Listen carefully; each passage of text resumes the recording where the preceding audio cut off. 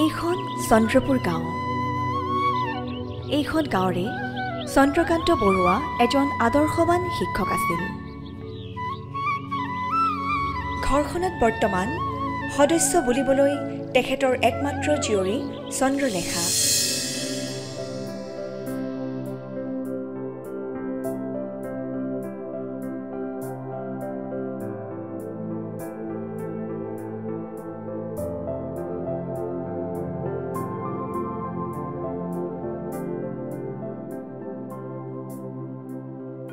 ৰাজীৱ চন্দ্ৰলেখাৰ দেউতাকৰ প্ৰতি থকা শ্ৰদ্ধা ভক্তিৰ বাবে তেওঁ চন্দ্ৰলেখাক বিভিন্ন কাম কাজত সহায় কৰি দিয়ে। কিহে ৰাজীৱ? আজিকালিচোন তোক দেখিবলৈ নাই।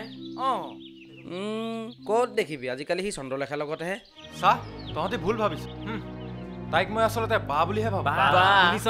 বা বোলে।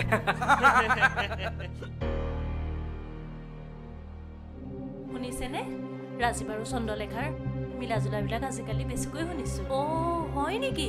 ময়ো শুনিছো। দেখাতে ঠাণ্ডা মুণ্ডা। তলে তলে কম নহয়। দেই আজিকালি কোন কি ধৰিবগে নোৱাৰি পাই। হয় পাই।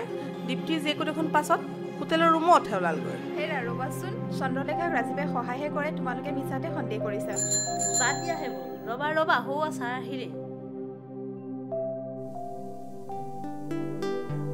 কিহে? আজিচোন অকলে অকলে অঁ একেলগে থাকিলে দেখিও ভাল লাগে ন? অঁ ঠিকেই কৈছ। কাম বন নাই আৰু এই অভদ্ৰকেইটাৰ। এইকেইটাক দেখিলে মূৰটোৱে গৰম হৈ যায়। বাদ দে সেইবোৰ। আজি মোৰ ঘৰতে বহুত কাম আছে জান? ঐ যা দে। কালিলৈ আহিবি। ৰচোন কথা এটা কওঁ। যদি বেয়া নাপাওঁ কি কথানো? কচোন। তই যে ঘৰখনত অকলে অকলে থাক তোৰ পৰিয়ালৰ কাৰোবাক লগত নাৰাখ কিয়? দেখিছই দিনকাল ইমান বেয়া। পৰিয়াল? সেই মখাৰ কেৱল মোৰ ঘৰ আৰু মাটিৰ ওপৰতে চকু। পাৰিলে মোকো মাৰি সকলোবোৰ হাত কৰিব। ঠিক আছে বাৰু যা কালিলৈ আহিবি। ঠিক আছে কাইলৈ লগ পাম। ঐ আজি কান্দুৱে কেনেকুৱা লাগিলে? ঐ যোগান ধৰিবি দেই। লাজ পাইছ?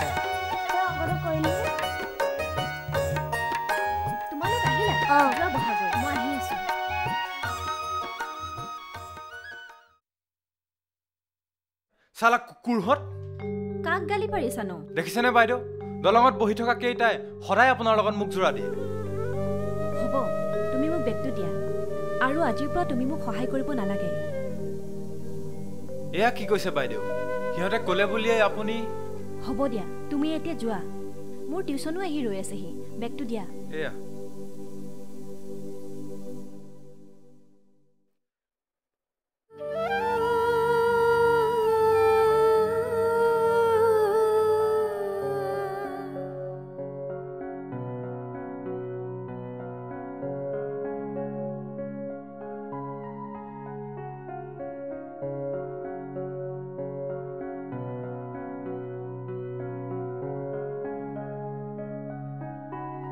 হ'ল? ইমান হুলস্থুল কৰিছা যে?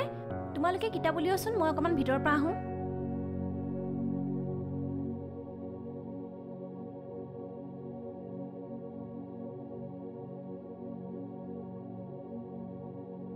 কি কৰিছা চাওঁ? তোমালোকে হোমৱৰ্কবোৰ কৰিলা নে বাইদেউ। দিয়াচোন। চাওঁ। আৰু তুমি? কৰি আছো বাইদেউ। অ' তাৰ পৰা মনে মনে চাই আছা ন? চাই চাই লিখিছা। দিয়া বহীখন দিয়া চাওঁ। দিয়া তুমিও দিয়া। আৰু তুমি কি লিখিছা? ওৱান টু থ্ৰী ফ'ৰ লিখিছা? চাওঁ। উম, ঠিক আছে এইখিনি লিখা।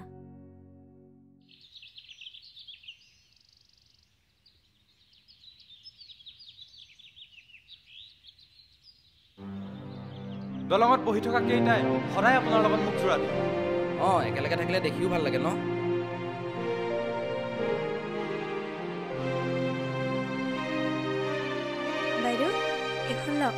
বাইদেউ বাইদেউ। ঐ অ'। পিকনিকৰ কাৰণে কাপোৰ কিনিলি নি? অঁ মই কিনিলোঁ তই? লিখিলা মই নাই কিনা পাই কিনিব লাগিব।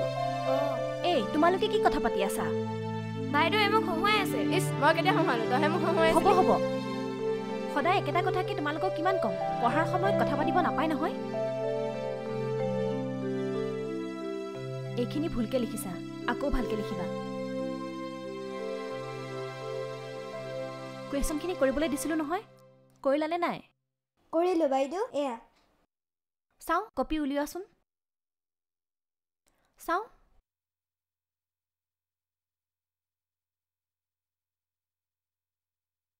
আখৰবোৰ ইমান ভালকৈ লিখিবলৈ কওঁ নুশুনা ন? লোৱা আকৌ ভালকৈ লিখিবা। আৰু তুমি কবিতাটো মুখস্থ কৰিলানে? অঁ কৰিলোঁ। চাওঁ মাতাচোন। প্ৰথমে বসন্ত ফুলৰ নাই অন্ত কুলি হেতেলুকা গায়ন বায়ন। গ্ৰীষ্মৰ বাৰসৰ জুই তেনুসৰ পথাৰত হয় পানী অনাতন। বৰ্ষাত কোপাত বিজুলীৰ ফুল ডাৱৰে মাৰে দোলত চাপৰ। শৰতে বুটলে শেৱালি মুকুতা কি যেন মনোহৰ পূজাৰ বতৰ। ঠিক আছে। অ বাইদেউ কোনফালে যায়? আমি অকণমান বৰ্ণালীহঁতৰ ঘৰৰ পৰা আহোঁ। তুমি ক'ত যোৱা? ময়ো সেইফালেকে ওলাই আহা একেলগে যাওঁ। তাই আছে বা নাই ঘৰত?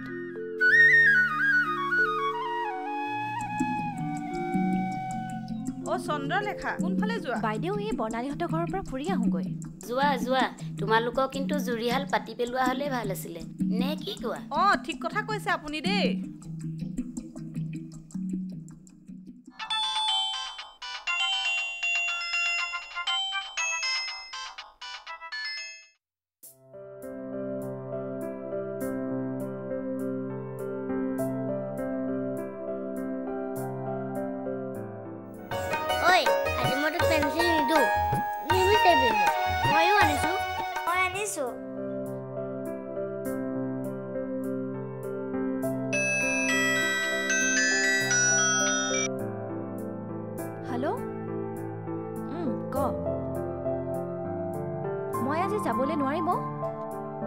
বহী দুখনমান চাব লগা আছে। পিকনিকৰ কথাটো কৈছিলোঁ যে। গাড়ীখনক ফোন কৰিলি? হ'ব দে। হ'ব ৰাখ।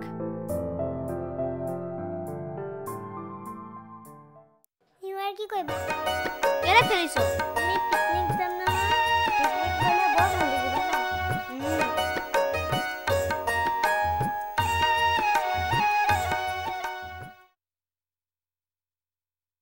চাওঁ কিতাপবোৰ উলিওৱা।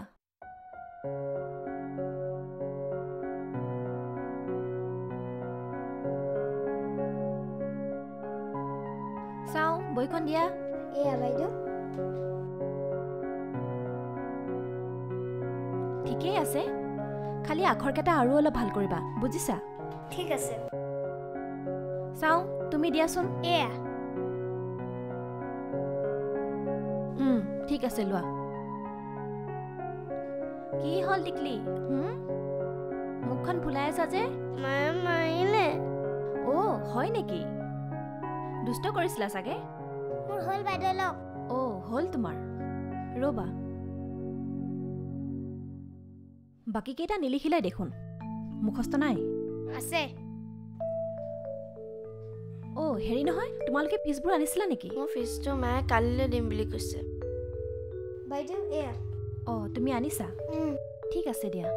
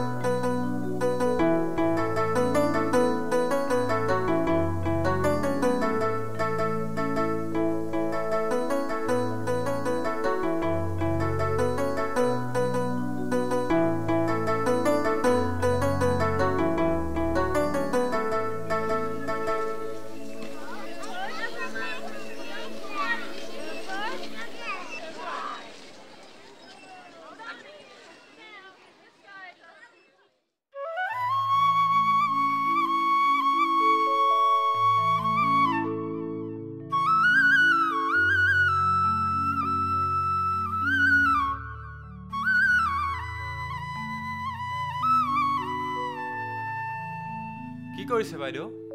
এই কাপোৰকেইটা ধুই ল'লোঁ ৰ'বা। টিউচনো আহি পাবলৈ হ'ল নহয়। সিহঁতৰ আজি স্কুল বন্ধ সেইকাৰণে সোনকালে মাতি পঠিয়ালোঁ। আহ!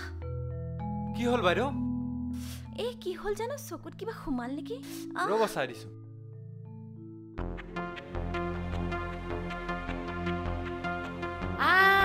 দিন দুপৰতে এহাল দেখিছানে কি কৰিছে?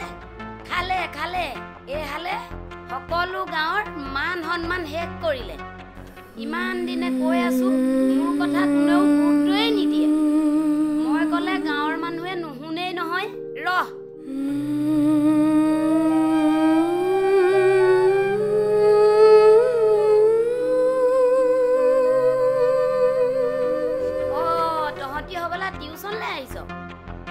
যা যা তহঁতৰ বাইদেৱে যিবোৰ কৰিছে আৰু ই চি চি চি চি চি চি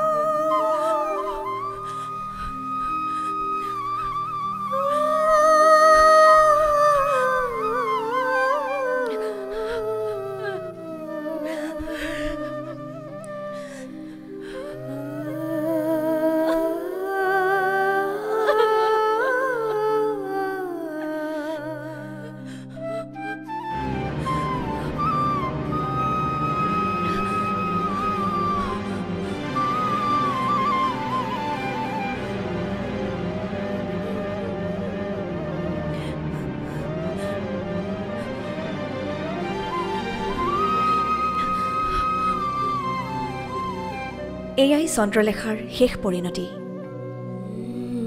সমাজৰ এচাম সংকীৰ্ণ মনৰ ব্যক্তিৰ মানসিক নিৰ্যাতনৰ বলি আজিৰ সমাজৰ প্ৰতিজনী চন্দ্ৰলেখা। কি আছিল চন্দ্ৰলেখাৰ ভুল? বা ৰাজীৱৰ ভুল ক'ত আছিল? এজনী ঘাট মৰোৱা ছোৱালীৰ প্ৰতি থকা আন্তৰিকতাখিনি আজিৰ সমাজে সহজভাৱে ল'ব নোৱাৰিলে। যাৰ ফলত চন্দ্ৰলেখাই আজি আত্মহত্যাৰ দৰে পথ বাছি ল'বলগীয়া হ'ল। চকুৰে দেখা সকলো কথা আমি ভবাৰ দৰে শুদ্ধ নহ'বও পাৰে। ৰাজীৱ আৰু চন্দ্ৰলেখা দুয়ো আছিল ভাতৃভক্তিৰ দৰে এক পবিত্ৰ সম্পৰ্কৰ প্ৰতীক। কিন্তু সমাজে সমাজে আজি সিহঁতৰ এই সম্পৰ্কক মিছা অপবাদেৰে কলুষিত কৰি চন্দ্ৰলেখাৰ জীৱন সমাধিষ্ট কৰিলে।